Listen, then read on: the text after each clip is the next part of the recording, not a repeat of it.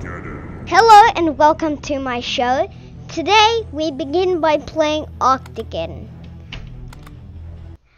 Now, you can buy some stuff from the shell shop, but you don't really need it.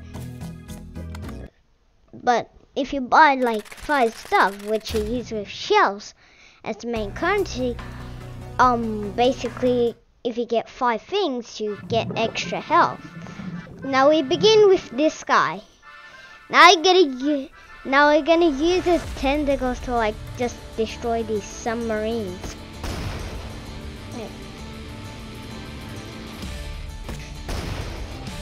It's like trying to kill. It's like I have to just survive through the wave. Basically, that's really what matters. Oh, currency! That's good. We can use it to create some defenses. But we just begin with bare tentacles. Usually an octopus's hands. If you are an octopus, you'd say them as that. then again, they can't talk with us. Anyways.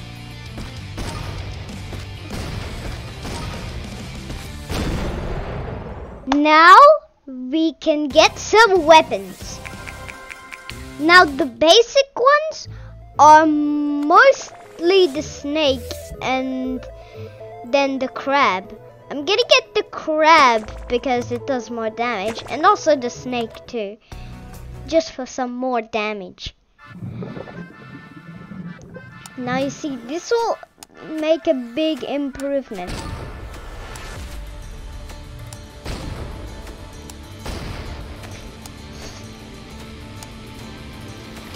The nastiest submarines, I think, are the speedy ones. Like the fastest ones, basically. But thanks to that claw, we can dispatch those armored units in a single hit. With this claw, but with this snake, it would use five hits.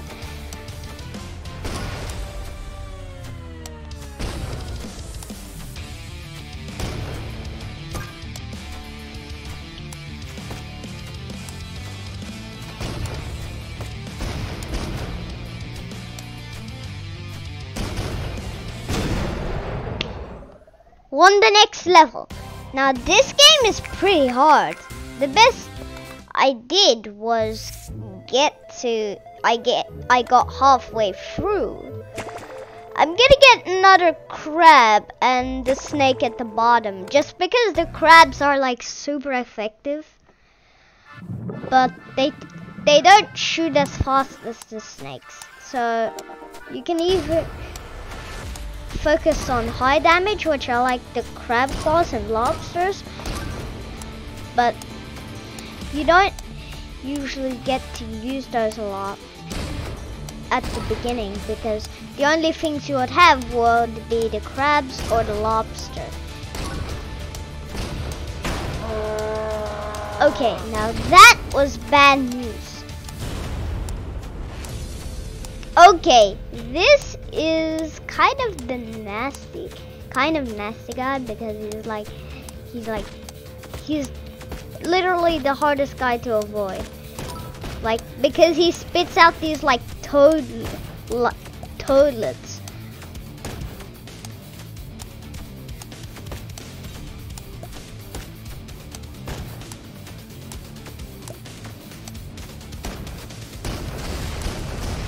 Now that's a big hit. Basically, I'm using the claws here. I'm doing very high damage. Oh no, he's hit. He almost hit me there.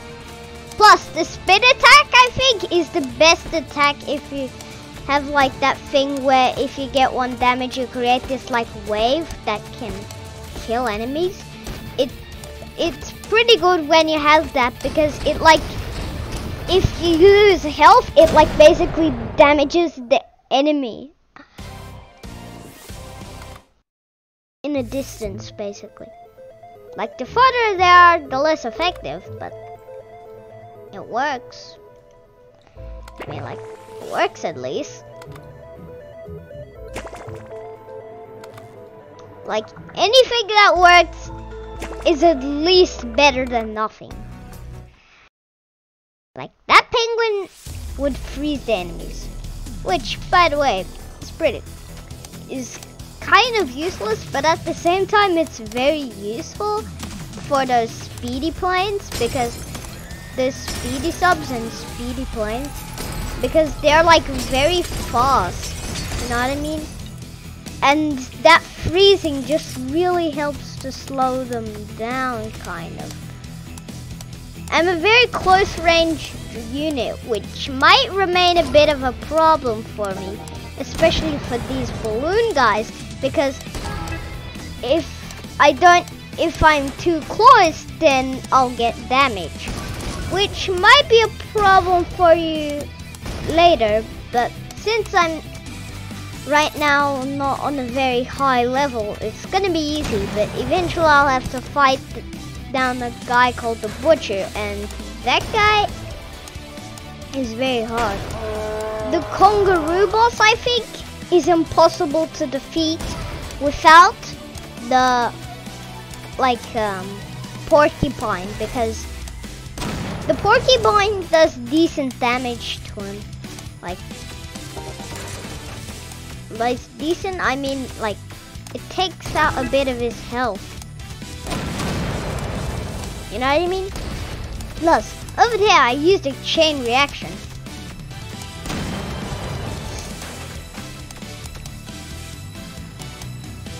Now basically all these units are actually spawned through these buildings. So if there were no buildings, there, there would be no one attacking me really. Plus you can see at my health bar that I only have one health. But I have three lives, so if I die, I can come back. But if I die again and then again, I'm done basically. Oh, DNA! Most important thing in life. DNA. Like with an A. Like DN. Okay, now I have one life. Now this I talked about now I'm gonna try and go maximum damage, basically. Like, I'm trying, I'm gonna try and like put a little snake down here with four crabs. It looks kind of like some sort of majestic being, arrows. Like, it's pretty awesome. But at the same time, it's kind of chaotic because imagine if we had giant, four giant crab hands trying to destroy you and at the then at the same time like um like um okay targeting is like kind of a problem in the game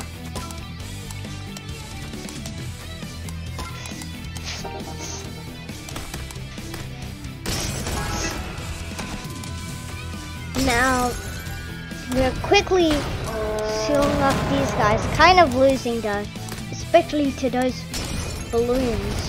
I mean, like those like um speedy planes. They're like I think the nastiest things in the game because they like they go so fast. It's difficult to hit them at certain times. So I think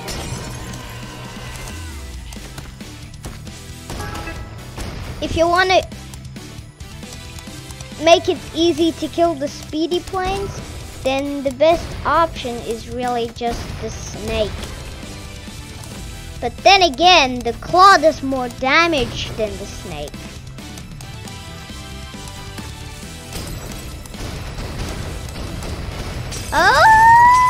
Okay, that's not a big problem now.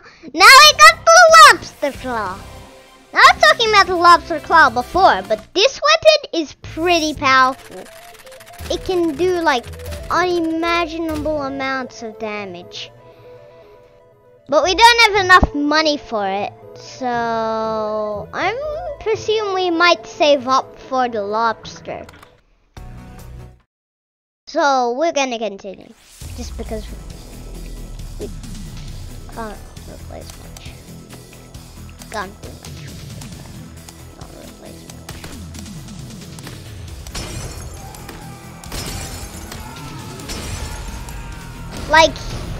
plus, hitting with two is worse than one at least. Like, everyone knows that, right?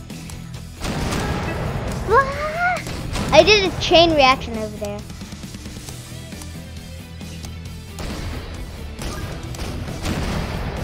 Oh, great. They said that a nuclear balloon. Just for me to explode with a snake and then continue. stupid. That's what I call stupid things now. And by stupid, I mean like, why would they just send in a nuclear balloon just to get exploded by me and then make me continue on. I mean like these speedy planes are like really nasty. They're like smart but at the same time like kind of stupid. Like oh my god. okay. Now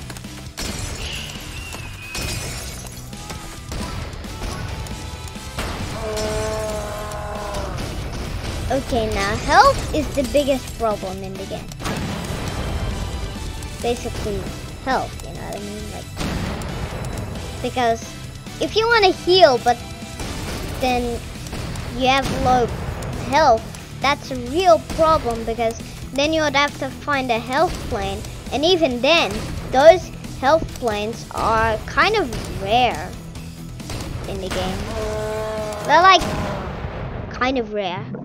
Plus I lost again, but then again, I can get the lobster claw. Well, a lobster is pretty dangerous. So I'm gonna put it here. Just to replace one of my crabs. Maybe put another lobster here and then maybe if I have enough money, I might eventually unlock the chicken weapon and replace these two crabs eventually with chickens. Now the chickens are kind of a powerful weapon in the game. Like they don't do a lot of damage, but they do a area damage. So they're key to fighting off these nasty piranha things. Now for right now they won't show up, but eventually they're gonna show up and that's gonna cause them a real big problem because you can only you can only hit a few of them with one attack. The swarms of them are mostly the most harmful, like the swarms of five of them, because they can like be in packs or they can be one as the minimum amount of groups they can be in or maximum five. And the the maximum swarms are the most common I guess. Like, compared to others, they're the most common type of group. Also, one, the ones, the ones on their own, but they're not the, but they're the second most popular. Meaning they aren't as good as, they aren't as like good. They aren't as common as the five swarms, but still, they are pretty balanced. Just less a bit.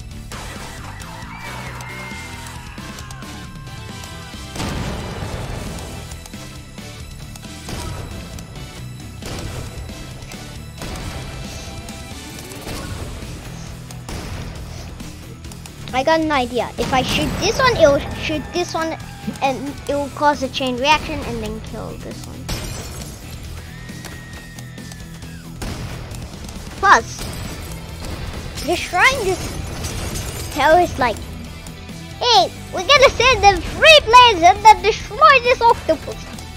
and then they just like all got killed because they did not know that I was actually sending, I was actually, I was, my claws were like right in front of them because they were like, it, they didn't plan for it. They were like, we're gonna just fight this one bear. and then it's like they just got destroyed by me like they didn't know what they were doing.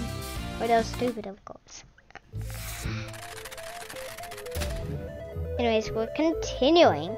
And since the penguin, lobster, snake, and crab are the only weapons, we either end up having all three of them or just one missing. Basically, we don't have the crab here because, well, we don't have an extra slot to have. That's not bad news. And now we have to fight the butcher. And by butcher, you might be thinking of someone holding a knife who will just butcher animals.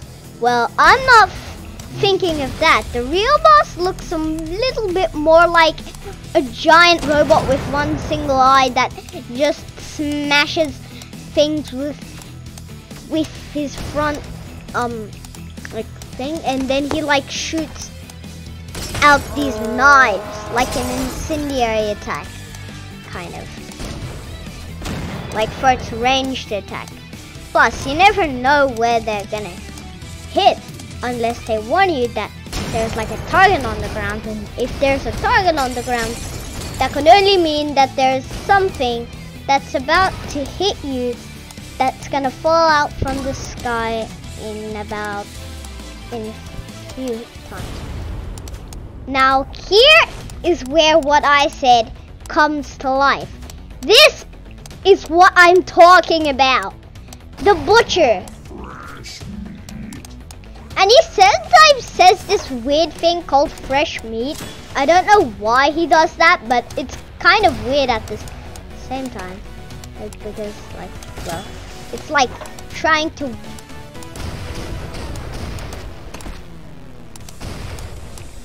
Now we're gonna wait, go in, hit, hit, run away. Okay, now this is gonna get really hard real quick. Now it's gonna be significant harder to remove win because all these infinite enemies. And now I played for as long as I can do, so I'm gonna go to the main menu and I'll see you soon. So bye.